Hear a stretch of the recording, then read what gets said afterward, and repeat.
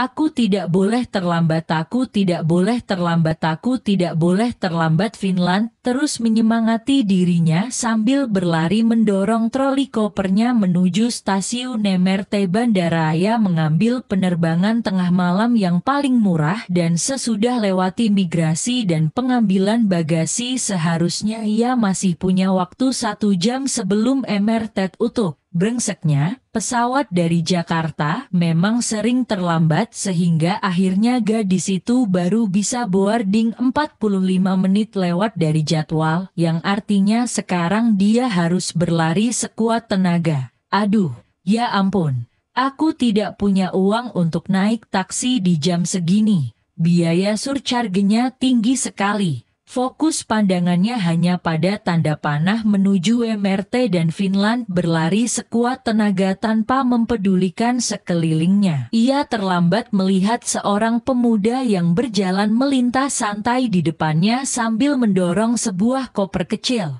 Hantaman akibat kecepatan lari Finland dan berat dari kedua koper di troli menabrak pemuda itu dengan sangat keras. Keduanya jatuh bertimpaan dengan koper-kopernya. Ya Tuhan, ya ampun, maafkan aku. Aku tidak memperhatikan jalan Finland buru-buru berdiri dan membereskan koper dan trolinya lalu berulang kali membungkuk untuk minta maaf. Pemuda itu masih tergeletak di lantai saat Finland sudah berdiri meminta maaf dan perlahan ia bangun sambil mengurut kepalanya yang terasa sakit. Ugh, Kelakuan manusia zaman sekarang parah banget sih. Semuanya selalu buru-buru sampai membahayakan orang lain.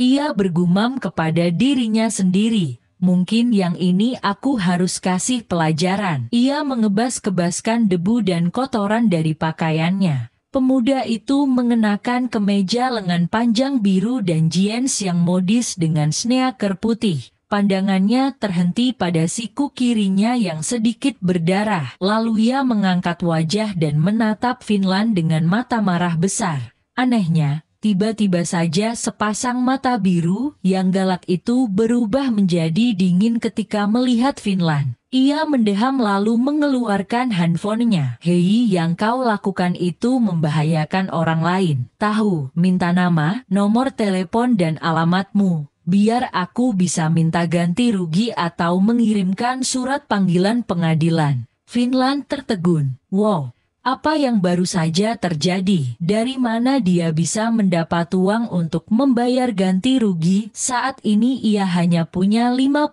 dolar di rekeningnya sampai ia bisa melakukan kerja sambilan menyebar brosur di Malahir pekan ini. Aku, ber, saat inilah Finland sadar bahwa ia sudah kehilangan kesempatan untuk naik MRT, karena MRT sudah tutup dan ia hanya bisa pulang dengan menggunakan bus atau menunggu hingga pagi di bandara untuk naik MRT. Aku namaku Finland, ini nomor telepon dan alamatku. Finland mengambil ponsel dari tangan pemuda itu dan menuliskan nomor telepon dan alamatnya di Singapura. Ah, sebenarnya itu bukan alamatnya, melainkan alamat Jean, sahabatnya sejak kuliah Dintu.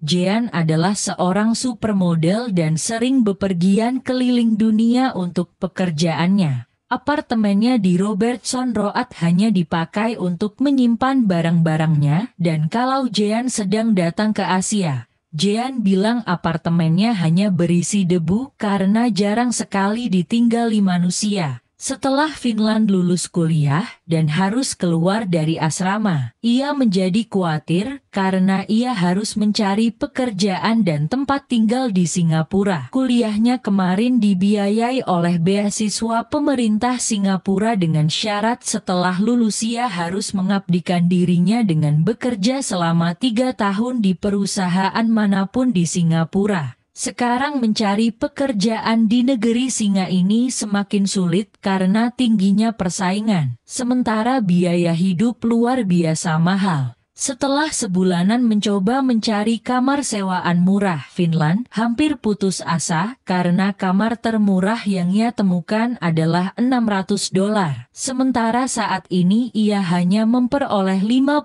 dolar per hari dari kerja sambilan menyebarkan brosur setiap akhir pekan sampai ia mendapatkan pekerjaan permanen. Dan itu sama sekali tidak cukup untuk bertahan hidup. Untungnya, Jean, sahabatnya yang baik hati seperti malaikat, menyelamatkan Finland dari situasi malang itu dan menyuruh Finland untuk tinggal di apartemennya sampai Finland mampu menyewa apartemen sendiri. Ini kan daerah pemukiman mewah. Komentar pemuda itu saat melihat alamat yang dituliskan Finland di ponselnya. Dasar anak kaya manja, kau tidak peduli pada orang lain dan sekelilingmu. Bagaimana kalau aku ini nenek tua yang sakit-sakitan? Ditubruk seperti tadi itu bisa bikin orang mati. Tahu, tiba-tiba emosi Finland memuncak dan ia pun menjawab kesal. Aku kan sudah berulang kali meminta maaf, apa itu belum cukup? Aku tidak sengaja. Aku buru-buru mengejar MRT karena aku tidak punya uang untuk naik taksi. Tolong dong. Aku ini sudah merasa sangat bersalah dan tidak enak terhadapmu. Kenapa kau seolah sengaja membuatku merasa tambah bersalah? Finland mencoba sekuat tenaga menahan air matanya agar tidak tumpah dan bicara dengan gigi terkatuk. Hari ini sungguh panjang dan melelahkan Dania tidak tahan lagi. Pemuda itu memandang wajahnya baik-baik seolah mencoba menilai apakah gadis itu berbohong. Memang, bagi orang luar, beralamat di Robertson Road yang mahal dan mengaku tidak punya uang untuk taksi rasanya tidak masuk akal. Namun Finland tidak akan menjelaskan tentang keadaannya kepada siapa saja. Apakah Finland? Ditu memang benar namamu. Pemuda itu mengangkat tangannya dan memberi tanda agar Finland menyerahkan paspornya.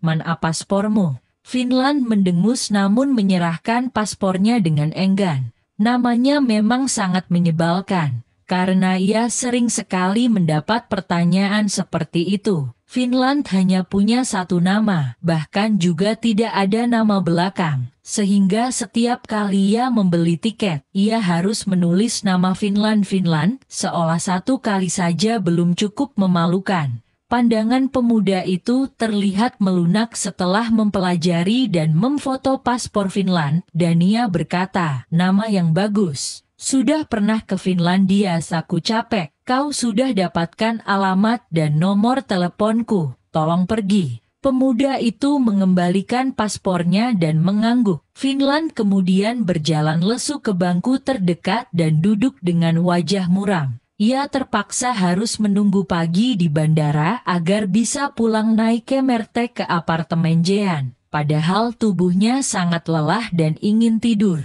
Dan besok pagi ia tidak boleh terlambat untuk wawancara pekerjaan di Suntet.